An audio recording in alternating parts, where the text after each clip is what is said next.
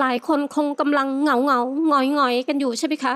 ว่าทำไมช่วงนี้เราไม่มีวอลเลย์บอลให้ดูเลย โดยเฉพาะวอลเลย์บอลในระดับทีมชาติ คลิปนี้อาจจะมาอัปเดตให้ฟังค่ะ ว่าตอนนี้มีหนึ่งรายการค่ะ ที่เราจะต้องไม่พลาดค่ะ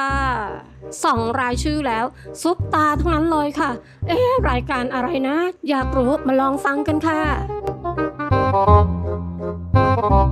สวัสดีค่ะเพื่อนๆทุกคน พบกับช่องอาร์สบัตไทยแลนด์อีกครั้งหนึ่งค่ะ แม้เมื่อวานเพิ่งดูรายการนครราชสีมา Invitation จบลง วันนี้ว่าง ไอ้ครั้นที่จะไปติดตามดูลีก VTV ของเวียดนามก็ไม่อยากดูค่ะ จะดู SEA V League ของกัมพูชาก็ไม่อยากดูค่ะเราจะดูเฉพาะที่มีนักกีฬาไทยแข่งเท่านั้นค่ะ จะแข่งคนเดียวแข่งสองคนสามคนดูได้หมดเลย แต่ว่าตอนนี้มีรายการวอลเลย์บอลยุวชนอายุไม่เกิน 16 ปี เพื่อนๆก็สามารถรับชมกันได้ทางช่อง TVA Channel ค่ะ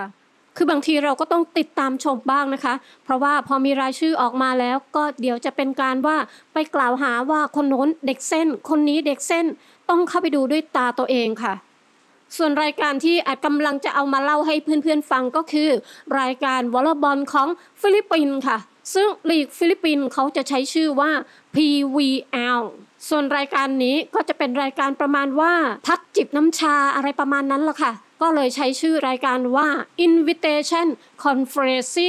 สำเนียงอาจจะไม่ถูกต้องนะคะแล้วรายการนี้มันเกี่ยวข้องกับประเทศไทยยังไงล่ะ ก็เกี่ยวสิคะ เพราะว่าประเทศไทยของเราเป็นทีมที่ได้รับเชิญให้ไปเล่นในรายการนี้ค่ะ ส่วนรายการที่เวียดนามก็ไม่รู้ว่าเขาเชิญไทยหรือเปล่า เชิญไม่ไปหรือเขาไม่เชิญ เราก็ไม่อาจทราบได้ค่ะ แต่ตอนที่เราจัดวอลเลย์บอลถ้วยกอตอนนั้นเราเชิญเขาไปนะคะ แต่ว่าเขาปฏิเสธค่ะ เขาบอกว่าเขาไม่สะดวกเขาแข่งติดแข่งไอ้นั่นไอ้นี่ของเขานะ่ะแต่ว่างานนี้เราไม่ต้องแก้แค้นเวียดนามค่ะ เพราะว่าอินโดนีเซียเขาก็ถอนตัวจากรายการ VTV ของเวียดนามเหมือนกัน เอ้าออกนอกเรื่องอีกแล้วค่ะ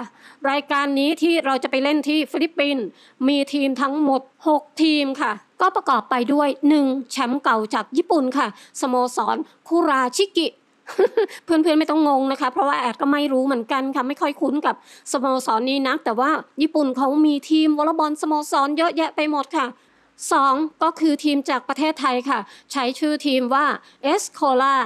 ก็เช่นเดียวกับทีมแอร์เอเชียที่ไปแข่งที่เซี่ยงไฮ้นั่นแหละค่ะ ตั้งชื่อตามสปอนเซอร์ค่ะ ส่วนอีก 4 ทีมเป็นทีมในลีกฟิลิปปินส์นะคะ เป็นทีมอันดับ 1 อันดับ 2 อันดับ 3 อันดับ 4 ก็ถือว่าเป็นทีมที่โหดมากละค่ะ เพราะฉะนั้นการไปฟิลิปปินส์หนนี้น้องๆของเราจะไม่ได้เจอกับทีมของศุทธัตตาเชื้อวู้หลิมค่ะ เพราะว่าทีมของศุทธัตตานั้นรู้สึกว่าจะเป็นทีมล่างๆตารางลงมาหน่อยนึง ส่วนชื่อทีมของฟิลิปปินส์แอดไม่อ่านนะคะ อ่านยาก ต้องไปซ้อมก่อนค่ะ รายการนี้เป็นรายการพิเศษ เพราะฉะนั้นทีมเอสโคลาของไทยก็ถือว่าเป็นทีมพิเศษค่ะ รายชื่อนักกีฬาที่อาจจะอ่านให้ฟัง เพื่อนๆ อย่าคิดว่านี่คือรายชื่อที่อัปเดตอย่างเป็นทางการแล้วนะคะ มันเป็นเพียงจากว่าที่แอดไปซอง แล้วก็ลิสต์มาค่ะ ส่วนรายชื่อที่จะไปก็เดี๋ยวเราก็จะได้รู้กันละค่ะเร็วๆนี้ เพราะว่าน้องๆเขาจะเดินทางในวันที่ 2 กันยายนแล้วค่ะ และการแข่งขันก็จะเริ่มตั้งแต่วันที่ 4 ถึง 12 กันยายนค่ะ จากรูปที่แอดไปส่องมานะคะ เรามาเริ่มกันที่ตำแหน่ง B หลัง อาจจะมีบางคนอาจจะโยกไปหัวเสา อันนี้อาจก็ไม่แน่ใจอีกเช่นกันแล้วล่ะค่ะ มาเริ่มกันที่ 1. น้องปายค่ะนภัสสอนพุ่มนิน 2. นัทวันผาดไทยสง 3. กัญจนาสีใสแก้ว 4. สสิการกันอยู่ 5. ประพัชยาพลธรรม คือจำนวนบีหลัง 5 คนก็คิดว่าเขาไม่น่าจะขนไปทั้งหมดหรอกค่ะ แต่ว่าอย่าลืมนะคะว่าแอดสายตาไม่ดี เพราะฉะนั้นเพื่อนๆก็ต้องช่วยส่องอีกแรงหนึงค่ะเพราะว่าแอดส่องไปส่องมาทำไมแอดหาหัวเสาเจอแค่สองคนไม่รู้ค่ะ นั่นก็คือ 1. น้องเฟิร์นวริศราศรีทาเลิศ 2. น้องนายธัญพรศรีโซ่ ซึ่งแน่นอนเลยค่ะ ว่าต้องมีคนสงสัยว่าเอ้า น้องแคบหมูหายไปไหน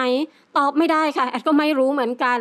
ส่วนในตำแหน่ง MB หรือว่าบอลเร็ว ที่อาจรู้จักแล้วก็เห็นชัดๆ ก็คือ 1. นัทริกาวสาร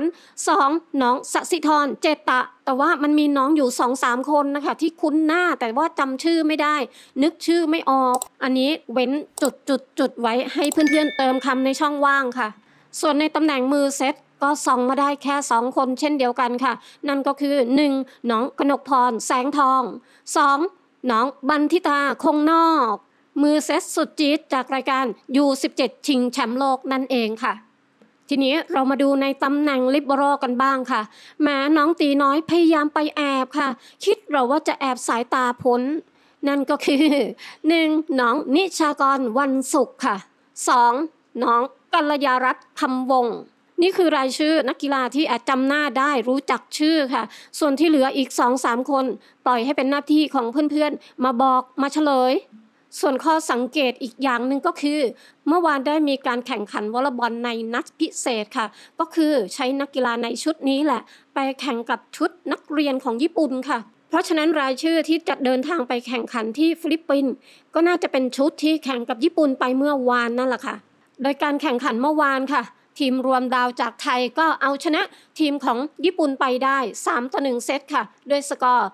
25 18 25 17 15 25 28 26 ดูจากแต้มแล้วก็ค่อนข้างสูสีนะคะ ส่วนสตาฟโค้ชที่เห็นในรูปก็เป็นโค้ชกิฟต์ค่ะ วิลาวัณย์ อภิญญาพงศ์กับโค้ชวรรณาบัวแก้ว ซึ่งแอดก็ไม่แน่ใจนะคะว่าสองท่านนี้จะเป็นคนที่คุมน้องๆไปเล่นที่ฟิลิปปินส์หรือเปล่า เรื่องโค้ดก็ถือว่าเป็นเรื่องหนึ่งนะคะ ที่ตอนนี้หลายคนก็เฝ้าจับตามองค่ะ แน่นอนค่ะ ในทีมชาติชุดใหญ่ของเราตอนนี้ เราได้โค้ดออสกลับคืนมาแล้วค่ะ บางคนก็ดีใจค่ะ บางคนก็ไม่ดีใจ เพราะว่าโค้ดออสไม่ใช่โค้ดนอกอ้อแล้วก็มีอีกเรื่องหนึ่งค่ะ ที่อาจเห็นว่ากำลังถกเถียงกันเป็นประเด็นใหญ่โตเลยก็คือ การเป็นเจ้าภาพในรายการชิงแชมป์โลกในปีหน้า หลังจากเมื่อวานทางเพจ Volleyball World ทวิตเตอร์เขาก็โพสต์ว่าประเทศไทยของเรารับเป็นเจ้าภาพแล้ว แต่วันนี้ค่ะสมาคมวอลเลย์บอลบอกว่า ยังอยู่ในขั้นตอนที่เราต้องรอให้รัฐบาลอนุมัติ ซึ่งมันก็ไม่มีอะไรค่ะ ก็แค่รอคณะรัฐมนตรีเข้ามาใหม่เซ็นแกร๊กเดียว แค่นั้นก็จบค่ะ ไม่ได้มีเรื่องมีราวอะไรใหญ่โต